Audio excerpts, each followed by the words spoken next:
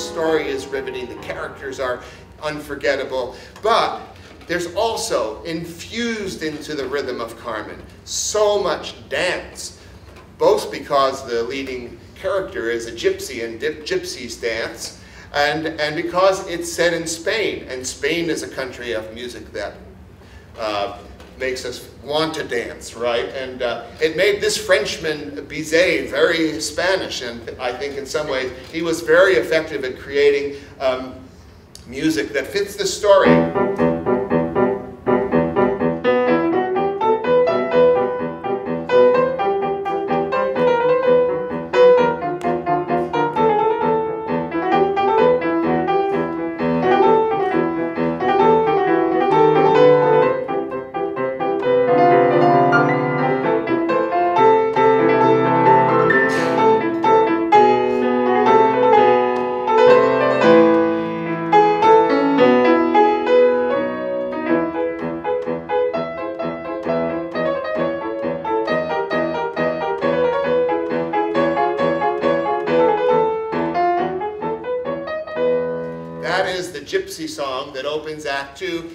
If we do our work well, we hope to start Act Two with a big bang.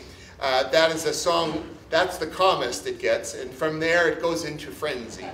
And with Bizet's orchestration, which Richard Strauss said would be a model for any composer to study the way Bizet orchestrated. All the voices are so vibrant and so full. Um, it makes a great impact as Act Two proceeds. Another little dance is a gypsy dance that Carmen sings, when she finally gets together with Don Jose, uh, who goes to prison for two months just so that she can be free. Uh, but of course, he, he doesn't do it for nothing. He sort of shows up at a little tavern called Lilas Pastia, and he is very anticipating uh, that he's going to be Carmen's lover. And uh, for this uh, moment, while things are still good between them, uh, she does uh, a dance just for him.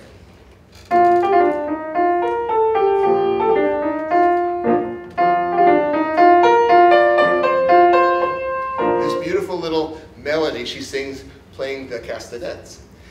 Unfortunately, there's only about 16 bars before something happens that immediately interrupts what was going to be, I think, a nice, a, a, a very romantic night. And it's this, duty calls.